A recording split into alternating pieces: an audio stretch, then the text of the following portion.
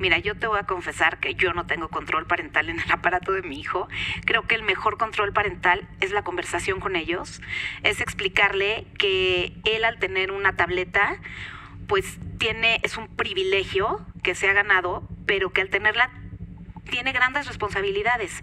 Y conversar mucho con ellos sobre lo que ocurre, sobre la gravedad de los retos que de pronto se van a, con los que se van a topar, porque se van a topar. No los podemos encerrar aquí dentro y aislarlos de la tecnología.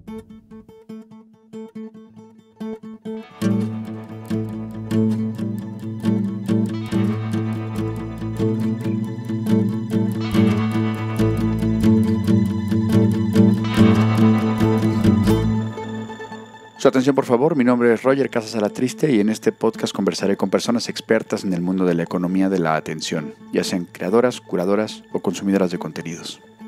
Hoy en su atención por favor hablaremos con Sisi Cancino, periodista, comunicadora y reportera todoterreno que ha cubierto eventos como el triunfo de Barack Obama a la presidencia de Estados Unidos o el fin de la epidemia del SARS en Hong Kong en 2004.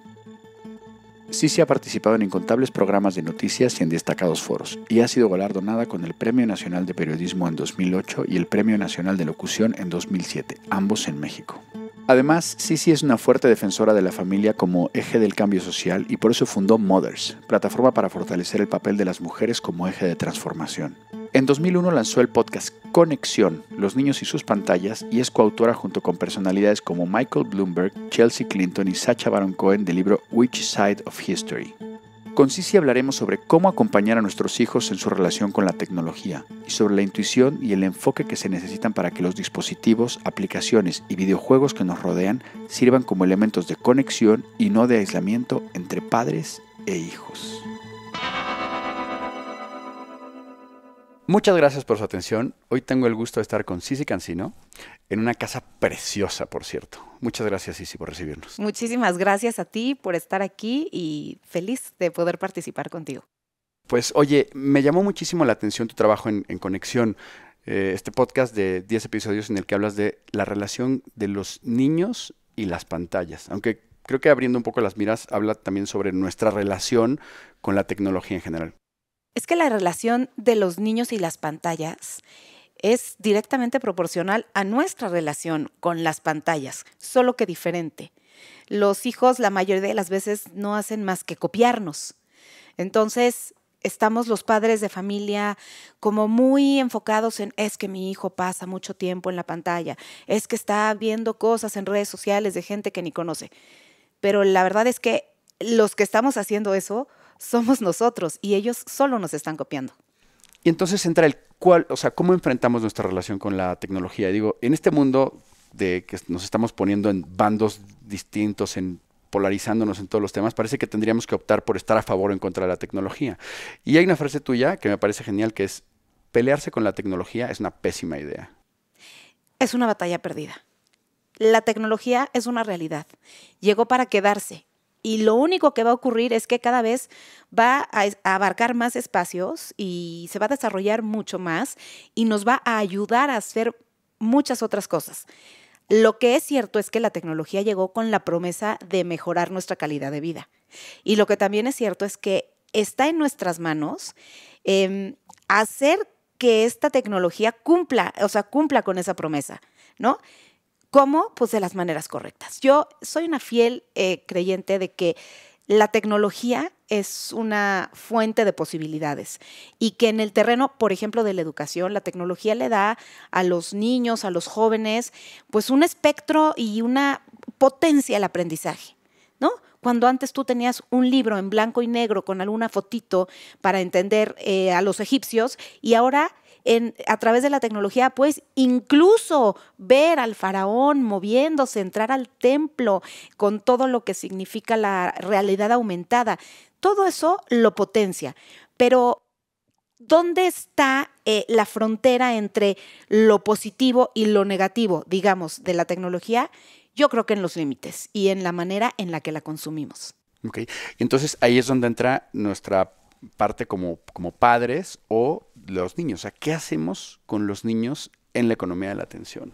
Yo lo que creo es que hoy en día los padres de familia si estamos atentos y si estamos comprometidos con la tecnología, y esto significa preguntar, actualizarnos, saber qué es lo que están viendo o usando nuestros hijos a través de la tecnología, podemos ser un agente de acompañamiento para que le den un uso positivo. Creo que la tecnología puede ayudar a nuestros hijos a ser agentes de cambio. Ejemplos hay miles. Eh, tú a través de la tecnología te puedes sumar a movimientos a favor de la conservación, de la sustentabilidad, ayudar a personas que tienen que, a través del crowdfunding, eh, a, lograr recursos para una enfermedad. Hay miles de cosas que se puede hacer positivamente, pero creo que el tema está en acompañar a nuestros hijos para asegurarnos que a través de la tecnología sean agentes de cambio positivo. Ok. Y tú, mencionas como algunos pasos, ¿no? O sea, como primar calidad sobre cantidad, el realizar actividades en conjunto, así por ejemplo, oye, Minecraft, pues vamos a jugar juntos al, al Minecraft. Y en general hacer que la tecnología potencie nuestra imaginación. Exactamente. La creatividad me parece una herramienta, un trampolín para una realidad distinta y la tecnología nos puede ayudar. Pero sí, eh, a mí me parece que eh, no podemos decir, ah, no, la tecnología, qué monstruo que vive con nosotros. No, no, no, no, no. Creo que tenemos que entender la tecnología, abrazarla y de ella sacar lo mejor. Y pues yo, por ejemplo, tengo un niño de, de 12 años y recuerdo que antes de la pandemia sí era un tema, ¿no? ¿Y cuánto tiempo llevas en el iPad? Y ¿Y cuánto va? ¿Y qué estás haciendo? Y cuando llegó la pandemia, que fue como para mí una especie de momento de reflexión, de cambio, de transformación sobre qué vamos a hacer si hoy en día esto que nos trae como no uses tantas horas y qué estás haciendo y con quién estás hablando y todo eso se convirtió en su única ventana al mundo, ¿no? Por ahí estudiaban, por ahí veían a la familia, por ahí socializaban. Entonces, cuando tú ves que no puedes enfrentar esa realidad sino abrazarla. Lo que fui descubriendo poco a poco es que yo tenía que enfocarme más en lo que él hacía, más que cuánto tiempo pasaba en línea, ¿no? Claro que si un niño se pasa cuatro horas jugando un videojuego que no te lleva nada, pues si a cualquier papá y mamá, pues nos molesta, nos saca de... Pero si a través de la tecnología tu hijo toma un taller, toma clases de pintura, aprende un idioma, dependiendo de la edad que sea, ¿no? Pero hay este webinars de para niños chiquititos, cosas que inclusive te pueden acercar al mundo de las matemáticas o de la ciencia con experimentos, y eso no significa que esté eh, sea como una víctima de la tecnología o que esté atado a la tecnología de una manera negativa. Otra manera, otra cosa muy buena que yo veo la tecnología es que normalmente pensamos que la tecnología nos separa. Y yo estoy segura que esa decisión depende de nuestras acciones. Yo soy la única que decido si la tecnología me separa de mi hijo o me permite hacer equipo con él. Y es justamente así, ¿no? Aprendiendo cosas de él. Está, siento que otras generaciones como la mía estábamos acostumbrados a que el conocimiento solamente venía eh, de forma vertical, de arriba para abajo. Y hoy no o sea, hoy nosotros podemos aprender de nuestros hijos, podemos aprender de nuestros pares, ellos mismos pueden aprender de sus pares y entonces también aprender de tus hijos lo que ellos están viviendo, porque ellos desde luego viven la tecnología de una manera diferente, porque ellos sí son nativos digitales, nacieron en la tecnología, la dominan, han crecido hiperestimulados, hiperinformados. Cuando tú te abres y permites que tu hijo te enseñe algo que puede ser a través de la tecnología, es una experiencia increíble donde también tus hijos se sienten como mucho más en conexión y mucho más vinculados contigo. Y puedes, desde te digo, hacer jardinería, experimentos, cocinar. En mi caso, nosotros cocinamos mucho y, lo hacemos con ayuda de, YouTube. Pero otra cosa que hicimos pues fue aprender, por ejemplo, lo, hice yo, aprendí a jugar Minecraft. Y entonces mucho tiempo en la pandemia pues construíamos las casas y entonces él me explicaba y me decía por qué había hecho una casa así y un mundo así y por qué su mundo estaba en las nubes. Y eso lo único que te permite es aprender de tus hijos, saber qué están pensando, qué se están imaginando, qué están deseando.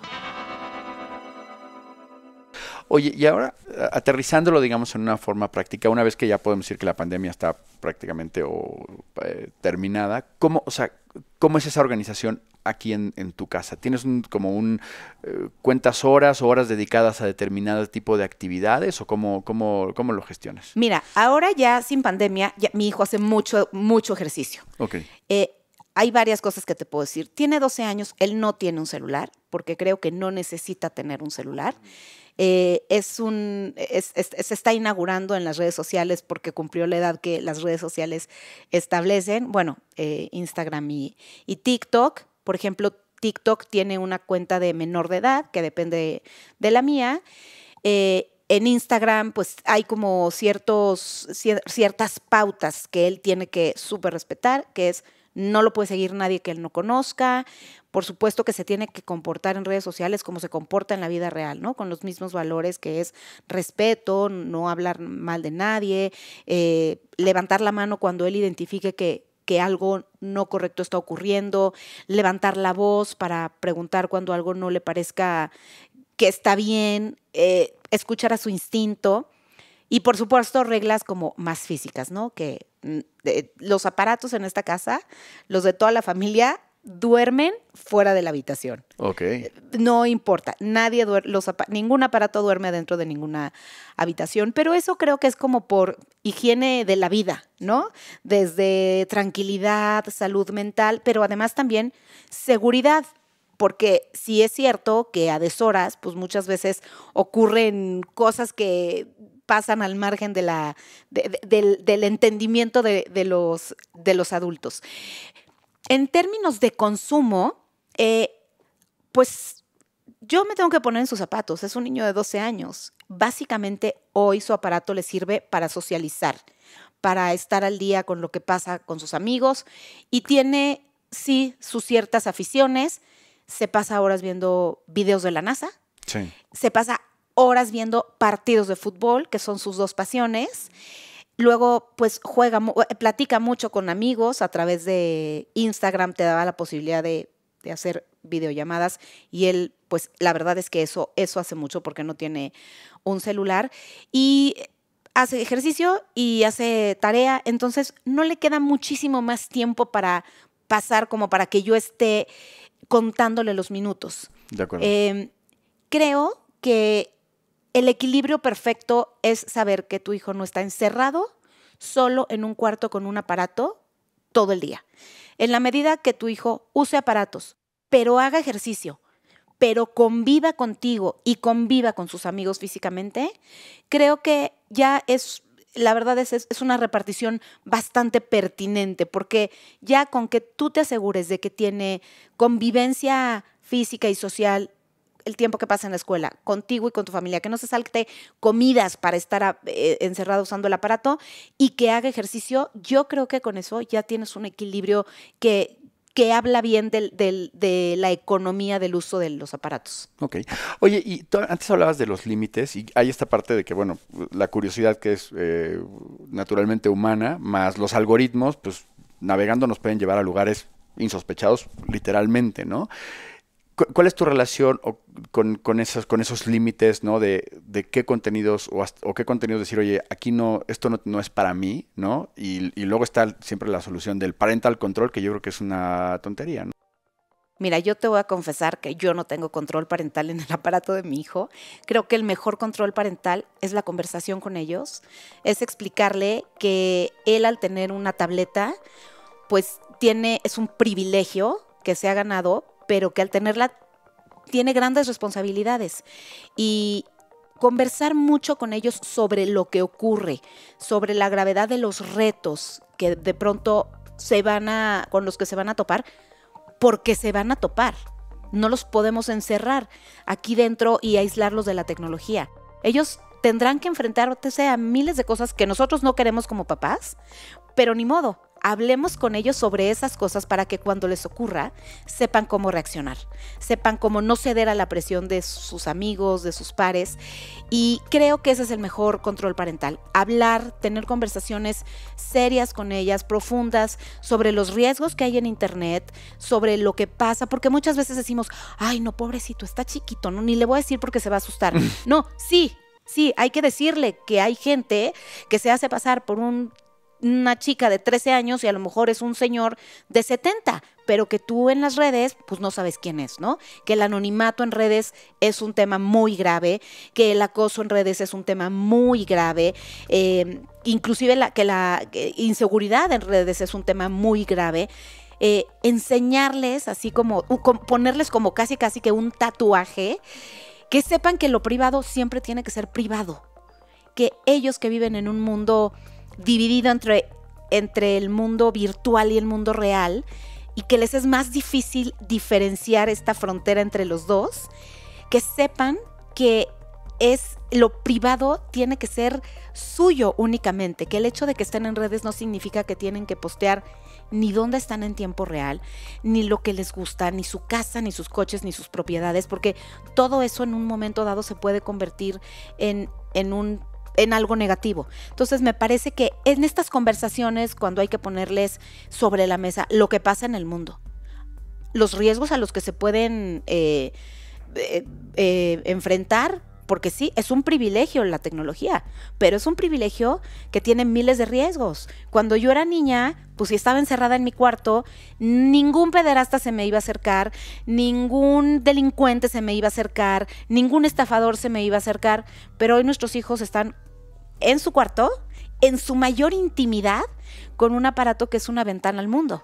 Claro, y que luego tenemos, nosotros como que siempre lo vemos desde esta perspectiva de quienes nacimos en el siglo pasado, ¿no? Y que, ay, es que yo escribía cartas y ahora todo es mucho más, ¿no? O yo tenía que hablar por teléfono a un teléfono fijo si tenía una novia y que me contestaba, ¿no? O sea, como que tenemos una especie como de estatura eh, intelectual, ¿no? Decir, es que nosotros vivimos este otro mundo y ahora sabemos diferenciar este otro, pero ellos no, o sea, ellos van, o sea, nacieron ya directamente en esto y entonces tratar de explicárselo, creo que desde nuestra perspectiva es una batalla totalmente perdida, ¿no? Y, y obtusa además, porque ¿qué queremos? ¿Regresarlos a los 80s, a los 90s? No podemos, es la realidad que tienen y la tecnología, pues como yo digo, desde el día que entró a nuestras vidas es solamente un de aquí para adelante. Y es más, creo que todos los días es el último día que dices, hoy tengo solamente esto, o sea, mañana va a ser más, ¿no? O sea, hoy es lo más avanzado, pero mañana, o sea, hoy estamos viviendo lo más antiguo de la tecnología que, estamos conociendo. Todos los días hay cosas nuevas, hay eh, nuevos dispositivos, hay nuevas aplicaciones, hay nuevos programas, plataformas, software, hardware, eh, soluciones integrales que están encaminadas a mejorar la calidad de vida y las posibilidades. Solamente, repito, no dejar que eso no ocurra, ¿no? Asegurarnos eh, que eso verdaderamente tiene que ocurrir. ¿Y cómo? Exigiendo y poniendo límites y acompañando y conversando. Y hay esta, esta, parte como más interna que tiene que ver con, porque, o sea, cuando hablamos de esta como dependencia que se genera de, de, las pantallas y de la tecnología en general, o sea, como que le echamos la culpa, ay, son unas pantallas luminosas y con colorines, no sé qué, pero realmente es una cosa de cómo gestionamos nuestro propio, los neurotransmisores, ¿no? O sea, que son cosas que son totalmente humanas y que de todas formas funcionarían así aunque no hubiera tecnología, nada más que la tecnología tiene los triggers perfectos de cómo ¿no? Este, potenciar esas cosas que tenemos nosotros dentro. ¿no? Bueno, la tecnología hoy en día, el principal trigger que tiene es que nuestro cerebro es adicto a lo inmediato. Y dime qué hay más inmediato que un, un celular o un iPad que en cuanto tú le picas, algo pasa. Entonces, ahora, yo estoy siempre en este centro, ¿no? Porque sí creo que todo en exceso pues tiene riesgos y todo con ignorancia tiene grandes riesgos. Me parece que el mayor salvador es la información, es la comunicación, pero también creo que tiene muchas ventajas. Yo, yo, a mí cuando me hablan de que no, es que los videojuegos y lo malo que son, digo, es que depende. Sí, si estás 10 horas y y no comes por estar en el videojuego y no conversas porque estás en el videojuego y no haces la tarea porque estás en el videojuego y no haces y dejas de hacer lo, lo normal para estar en el videojuego, claro que es tremendo y es terrible. Eh, si te comunicas con un millón de personas que no conoces porque puedes hablar con ellos en línea. Todo eso sí, es cierto, todo eso es negativo. Pero inclusive yo siento que hay cosas eh, eficientes y, buenas, eh, beneficios que te trae el videojuego, ¿no? La manera en la que entrena tu cerebro, yo me doy cuenta porque cuando yo empecé a jugar algún juego con mi hijo, pues no sabía ni cómo mover. Yo tenía que ver el, el, control para ver a, a, dónde iba, ¿no? Y cuando, o sea, yo hoy tengo que, cuando abro algo, leo las instrucciones. Pues como sabes, ya hoy las instrucciones ni existen, ¿no? Cuando el iPad, la tableta salió, sacó, salió la primera tableta, lo que era increíble es, pero es que no trae instructivo. No, porque todo es intuitivo. La tecnología eh, ha, ha tenido una nos ha enseñado una lección de intuición increíble. Entonces, también creo que hay beneficios de, que encuentran los niños de cómo resolver problemas que encuentran en, los videojuegos, inclusive de toda esta interacción de relación de movimiento de mano-ojo, de cómo eh, su cerebro se puede relacionar positivamente a través de los, eh, de los eh, videojuegos para otras circunstancias de la vida real. Yo siempre estoy como muy en el centro porque no soy una enemiga para nada de, de los videojuegos ni de la tecnología, pero sí soy enemiga de que sea la tecnología la que mande. Creo que una positiva relación con la tecnología es una tecnología donde nosotros la tenemos en control. Totalmente de acuerdo. Y, creo que hay esta parte de, oye, vamos a buscar estos momentos en los que, como dices tú, oye, todos los aparatos fuera de las habitaciones y no sé qué. Pero luego decimos, oye, queremos desconectar, pero para dar un paseo en la montaña tenemos que llevar nuestro Google Maps. Para meditar tenemos que usar nuestro app de Headspace. O para eh, escuchar un libro tenemos que poner Audible que lo tenemos en el teléfono. O sea, es muy complicado, ¿no? Es muy complicado y es muy cómodo, pero siempre creo que puedes eh, darle ese espacio a la, o sea, si tú te pones a, tú abres tu aplicación de Audible y te pones a, escuchar un libro, pues el chiste es que lo escuches. Claro, si te pones a escuchar el libro, pero al mismo tiempo te pones a hacer un mindless screening en Instagram, pues entonces ya ni escuchaste el libro y, ni estás eh, poniendo eso, ¿no? Nosotros sabemos lo que fue pues nacer y usar una agenda, un, teléfono de casa, un reloj de pulsera. Y, ahora todo eso, todo eso está en un solo dispositivo del que no nos separamos. Conexión es un spin-off de Mothers. Así es. ¿Nos puedes contar de Mothers? Mothers es una iniciativa que fundé en el 2017 y busca fortalecer el papel de las mamás como ejes de, de transformación. Y hago foros a lo largo del año con talleres para mamás y se han sumado muchísimos papás, porque el papel del papá hoy en día es un papel mucho más entrañable, mucho más cercano a los hijos que el del papel del papá de hace 60 años, ¿no? Em, y entonces en estos foros lo que hacemos es darles a los padres de familia, en particular a las mamás, em, herramientas para que conozcan el mundo de sus hijos y conecten con él con un solo objetivo, que generemos vínculo con nuestros hijos.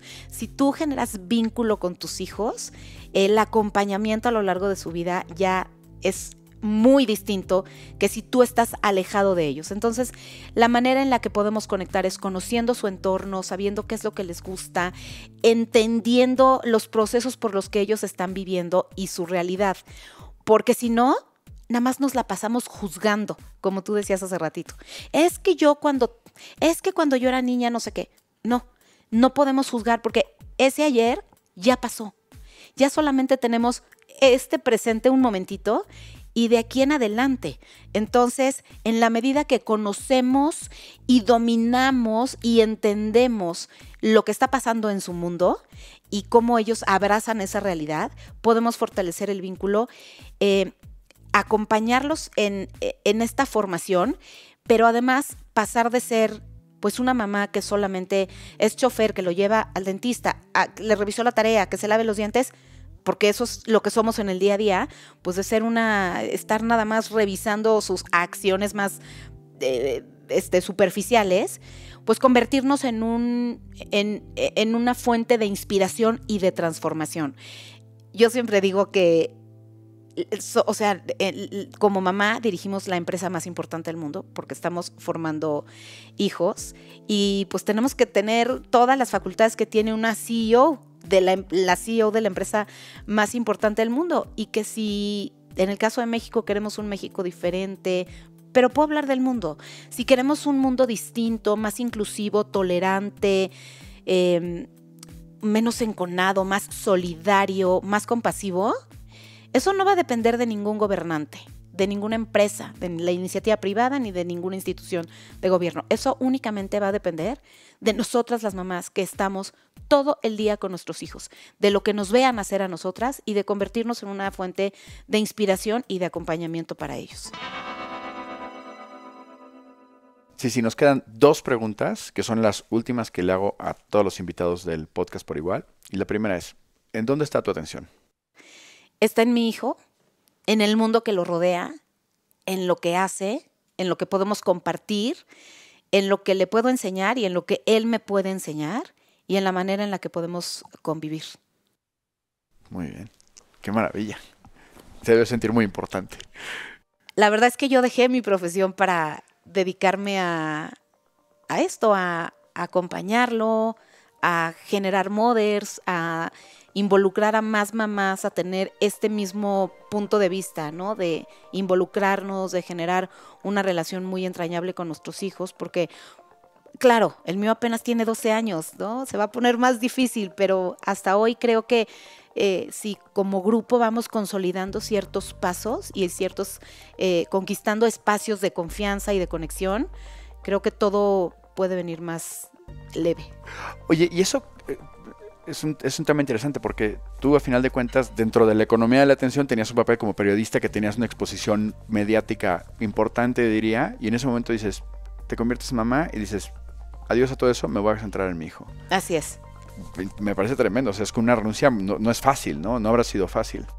Pues fíjate que lo que tomé en cuenta fue, llevo pues muchos años de carrera entregada a la televisión, entregada al radio, entregada a los medios en general, y ahora lo que más necesita de mí es mi hijo. Entonces, en realidad, no me... Ese momento no me costó tanto trabajo tomar la decisión. Luego cuando veo eventos, cuando veo lecciones, cuando veo cosas que me gustaría estar cubriendo, ahí sí digo, ay, pero te digo una cosa, Roger, no lo cambio por nada. O sea, la verdad es que creo que el, el camino que tomé para, aún hoy, si hay veces que me ponen alguna cita a una hora que se, se compagina con algo que tengo que hacer con él, llevarlo a su fútbol, eh, y la mayoría de las veces sé cuál es mi prioridad. Qué maravilla. Mientras se pueda. Total. Oye, ¿nos podrías dar algún consejo, un truco para el Minecraft? El mayor consejo para un papá o una mamá del Minecraft es que escuchen los consejos que les dan ellos, porque ellos están como en un mundo, o sea, conocieron el Minecraft de una de Minecraft de una manera muy orgánica, ¿no? Entonces yo, por ejemplo, hacía unos muros muy bajitos y él me decía, no, no, no, más altos, porque adentro puedes poner tapancos y un segundo piso escondido y un búnker.